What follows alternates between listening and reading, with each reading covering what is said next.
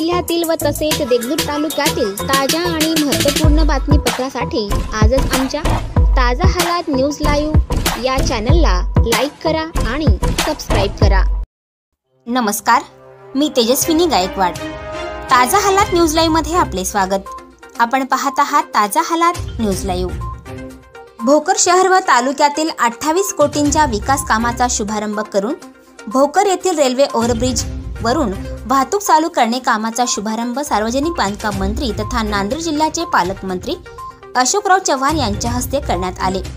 शेजारी माजी आमदार अमिता चव्हाण आमदार अमरनाथ राजूरकर माजी आमदार ओमप्रकाश पोकर्णा जिल्हा परिषद अध्यक्षा मंगाराणी अंबुलगेकर जिल्हा परिषद कृषी व पशुसंवर्धन सभापती बाळासाहेब पाटील रावणगावकर काँग्रेस कमिटी भोकर तालुका अध्यक्ष जगदीश पाटील भोसीकर काँग्रेस कमिटी जिल्हा उपाध्यक्ष भगवान दंडवे माजी नगर अध्यक्ष विनोद पाटील चिंचाळकर माजी नगर अध्यक्ष साहेबराव सोमेवाड मार्केट कमिटी उपसभापती गणेश राठोड मार्केट कमिटी संचालक रामचंद्र मुसळे संचालक अप्पाराव राठोड पंचायत समिती भोकर उपसभापती सूर्यकांत बिल्लेवाड ज्येष्ठ नेते बाबुराव अंदबोरीकर युवक काँग्रेस मारुती पाटील अडकिने विनोदभाऊ चव्हाण चिदगिरीकर डॉक्टर बालाजी अंदबोरीकर संदीप पाटील गौड मुबिन खान इनामदार काँग्रेस कमिटी शहर अध्यक्ष खाजू इनामदार अल्पसंख्याक जिल्हा उपाध्यक्ष शफी इनामदार काँग्रेस अल्पसंख्याक तालुका अध्यक्ष ताहेर बेग काँग्रेस अल्पसंख्याक शहर अध्यक्ष खालिद सय्यद